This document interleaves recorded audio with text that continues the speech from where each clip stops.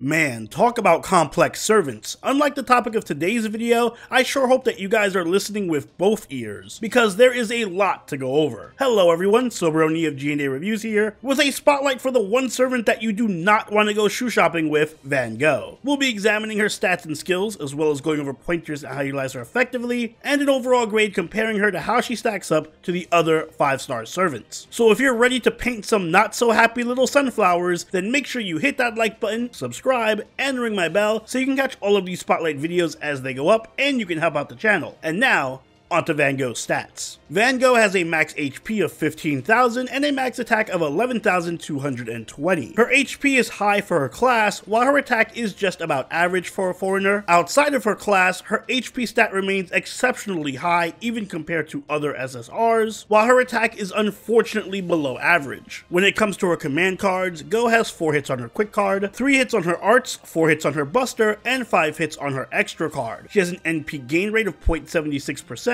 and a star rate of 14 13.9%. Her heavy quick deck and high hit counts give Gogh very good star generating. However, her NP gain is inconsistent due to only having a single arts card. Gogh's stat spread is heavily defensive and supportive with excellent star generating and a high HP pool, but with low offensive capabilities. Taking a look at her skills, Van Gogh's first skill is Void Space Fine Arts, rank B+.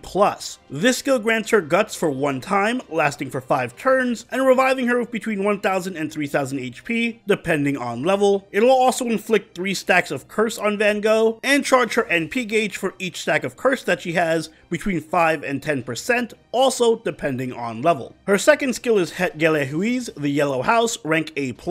This skill reduces the defense of all enemies for 3 turns, between 10 and 20% depending on level. It also reduces their quick resistance by 20%, grants the entire party evasion for 1 hit, and heals the party by 300 every turn for 5 turns. As a demerit though, it will inflict curse on the entire party for 10 turns. And finally, her last skill is Soul of Water Channels rank EX. This skill allows Van Gogh to target an ally and increase that ally's attack for 3 turns between 20 and 30%. It also increased their crit star absorption rate for 3 turns between 300 and 600%, both depending on level. And it will also grant that ally an on attack buff for 3 turns that will remove a curse effect when attacking with a quick card and increase their attack by an additional 10%. As a demerit, Van Gogh will also absorb all of the enemy and party ally curses to herself. As for her passives, Van Gogh has existence outside the domain rank A, which grants her 2 crit stars every turn and increases her own debuff resistance by 10%, Insanity rank C, which increases her buster card effectiveness by 6%, Item Construction rank B-, minus,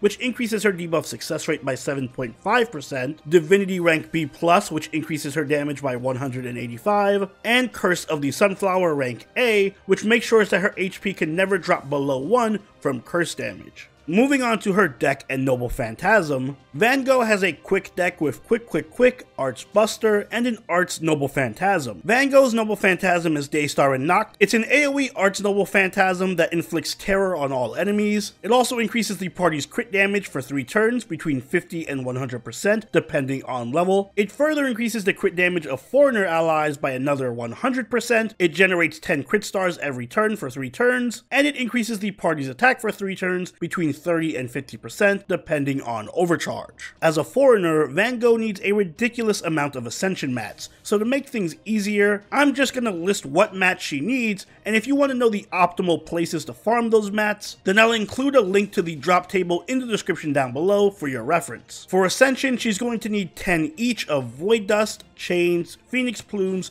Black Tallow, Chaos Talons, Lanugos, Bloodstone Tears, and Spirit Roots. As for skill leveling, Gogh is going to need 10 Void Dust and Yggdrasil Seeds, 12 Pages, Homunculus Babies, and Aurora Steel, and 15 Spirit Roots, Fruits of Longevity, and Comet Shards per skill. Van Gogh is living proof that you should never judge a servant by their cover. I would never peg Van Gogh as an offensive juggernaut who can punch out literal gods. But then again, I'm a business major, so what do I know about art? What I do know though is that Van Gogh's stats are very deceptive. Despite her high HP and low attack, she is definitely more of a DPS than a support. And while her NP gain is low on paper, her consistent star generating allows her to crit very easily, which makes her NP gain a lot better in practice. But Van Gogh isn't just any old crit DPS, she has some of the most unique and innovative mechanics that we've ever seen in FGO. Her entire kit revolves around applying and benefiting from curses. Her second skill, the Yellow House, not only applies curse to herself, but all of her allies as well. It also decreases the defense defense and quick resistance of all enemies, and grants the party evasion and healing per turn. Given how many buffs and debuffs this skill grants alone, the Curse demerit is well worth it, especially since it's only a measly 100 damage per turn, which is even less than the healing that the skill gives. Yellow House is fantastic both offensively and defensively, and it enables all of Gogh's kit. Defensively, it's basically Harp of Healing, feeling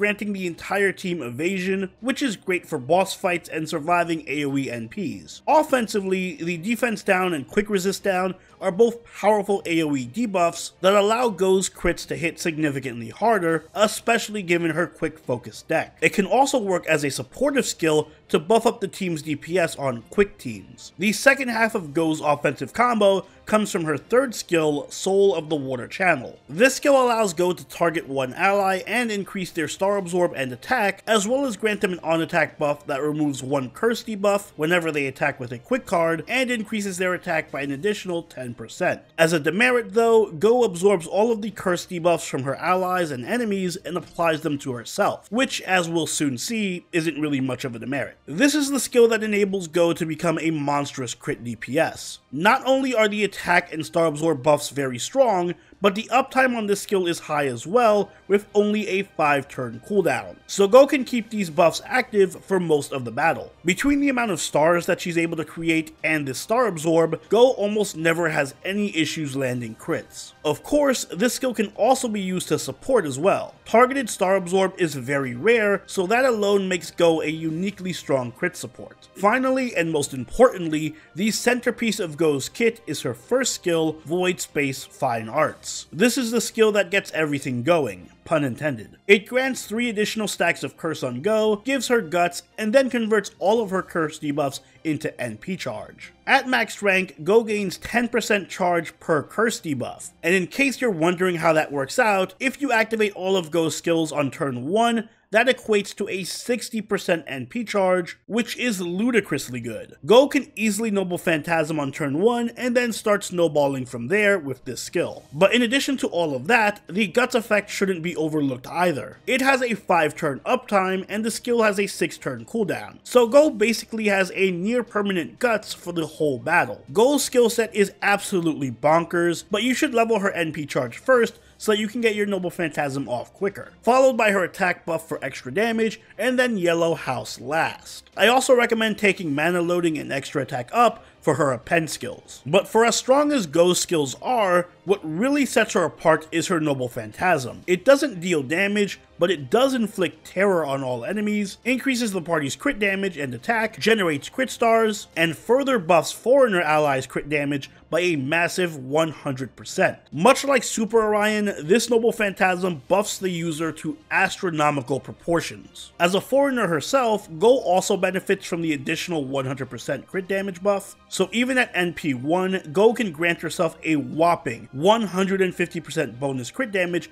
from this NP alone, on top of the additional 30% attack buff and the 20-30 star generating effect. This NP gives Gogh everything she needs to be consistent and hit like a truck. And what's even better is that in the right team comps, Gogh can even loop this Noble Phantasm and continuously stack the buffs, so that she can reach absolutely insane numbers like 300% bonus crit damage or 90% extra attack. Thanks to that, Gogh is up there with Super Orion as one of the most snowbally servants in the game, and once she gets going, she can easily hit for over 100,000 or 200,000 per crit. If you're planning on using Gogh as a DPS, which you should, the basic turn 1 combo for her is to activate her second skill, followed by her third, and then her first. This way she's able to activate all of her buffs and take advantage of the full 60% charge to Noble Phantasm with. But Gogh can also serve well as a support, specifically in quick crit teams where she can generate stars, give good damage buffs and weaken enemies. Her kit gives her an incredible amount of versatility and she can do everything from stalling to buffing to healing. Gogh has some of the highest sustained damage output of any servant in FGO, and she is a veritable Swiss army knife when it comes to utility, but that does come at a cost. As is the case with most crit DPSs, Gogh is susceptible to bad card RNG. If she isn't able to string together Brave Chains or get consistent crits, she can fall off pretty hard. Additionally, she has an incredibly high skill floor and can be tough to use. Gogh also only works in very specific team comps with very specific supports, even within quick teams. She isn't a plug and play DPS that can just fit anywhere, and many players may not even have the supports that she needs to excel. And on that note, let's talk team comps. As a DPS, Gogh mostly needs quick buffs and NP charge so she can continuously snowball. And in that regard, there are only a couple of servants who can deliver, namely Skadi, Osakabe Hime, or another Van Gogh. I don't normally mention Skadi in my spotlights because she's kind of a given, but in this case, Skadi is a uniquely strong support for Van Gogh due to her powerful NP battery, quick buffing, and crit damage buffs. Osakabe Hime also delivers a good amount of charge and buffing if you lack Skadi, and if all else fails, a double goal team is surprisingly strong since they can both buff each other and stack curses. As a support, Gogh tends to work best with other quick crit servants or foreigners like Abby, Kama, and the upcoming Santa Karna. In all cases, Gogh can improve their consistency with her targeted star absorb skill, buff their crit damage, and keep them alive with evasion and healing. Gogh's Bond CE is self-portrait at Chaldea, it generates 8 crit stars per turn, and it increases the party's crit damage by 15%. This is an excellent Bond CE if you're using Gogh as a support, since it's basically a 2030 that also buffs crit damage, it's really good. You can also just use a regular 2030 instead, or you can go with Traces of Christmas, Gem Magecraft, or True Crimson Spear Teacher if you're going for DPS. Fist of Hail is also a good CE for Gogh. It grants starting crit stars and quick card effectiveness, and you can get it for free when it releases during Summer 7. As for command codes, any crit buffing CE is a good fit for Gogh, especially ones that buff quick cards like Phantasmal Horse. Overall, Van Gogh is an elite crit DPS. She's easily capable of putting up damage numbers comparable to Super Orion due to her incredibly loaded NP and skill set, while also providing a lot of invaluable utility and support to the team. She does still suffer from the usual drawbacks of a crit DPS though, that being bad card RNG, and she isn't really an easy servant to use because she requires optimal team comps and conditions to work properly. So not everyone will be able to get the full mileage out of her. Still though, Gogh gets an A from me. I think she's a uniquely strong servant that is capable of hanging out with the best of them. So if you do have Skadi or if you want to make a really viable quick team, then I would highly recommend rolling for Gogh, especially since she's only going to get better in the future. But if you don't, then don't worry about it, she isn't exactly a must-have servant. And those are my thoughts on Van Gogh. Personally, I think she's one of the most fun servants ever put into the game, and I absolutely love her gimmick, so I can't wait to roll for her. But what do you think? Let me know in the comments down below. And if you enjoyed this video, don't forget to leave a like, and consider subscribing if you really enjoyed the video. Join the party over our Discord, chill with us on Twitch, and follow us on Twitter, and I'll see you all in the next Servant Spotlight. So Saberoni out. Later.